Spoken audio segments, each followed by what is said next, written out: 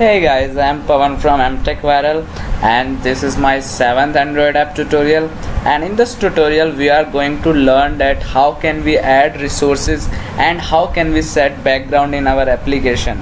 So let's get started. So here the first thing I want to tell you that uh, we are going to work on this RES folder which is on the left side of your screen and here you can see that uh, I have a drawable folder here and uh, I have a layout folder here mipmap folder and values folder. So I am going to add some more folders. So you will add the folders to this res folder uh, which will be some drawables folder like map there you can see that we have uh, four types of folders of map one is hdpi another is mdpi then xhdpi and double xhdpi so we have to make the similar folders for drawable also. These uh, uh, these folder actually depends on the density. So we are going to make four folders for drawable also. So after you will uh, add four folders then we are going to add some images to these folders so I am going to select some images from here. And I have selected two images. And I am going to paste in this drawable folder. So here I can see I have added four folders. And uh, it is asking me whether I want to uh, paste the images in uh, in the drawable folder or out of these four folders. So I am going to uh, paste the images in HDPI folder for the time being but uh, you can add all the images in all these folders depending on the size of those images according to the density of the phones. And this drawable folder which is on the top is only used for those drawables which are in XML format. So I am going to add this in drawable HDI, HDPI folder.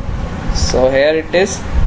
And I have added two images first one is of Momina and another one is of Sunny Leone so what I am going to do is and I am going to add another uh, resource which is which can be your sound resource or which can be your uh, music resource. So uh, for adding that kind of thing you have to make another folder which can be a raw folder which will you will add in this uh, uh, res folder. So i am going to add new directory here and i will name is that raw. So here you can see we have the raw folder also. Now i am going to add a music in this folder. So I am going to select any music from here and I am going to select my tune. I am copying it and I am gonna paste here. So here you can see I have pasted the my tune and when I will play it how it will react. So we will do this later. So I have successfully uh, made these changes and uh, I am going to um, set a background now. So I'm going to make another layout from here and I'm going to name it as uh, splash activity. So activity underscore splash.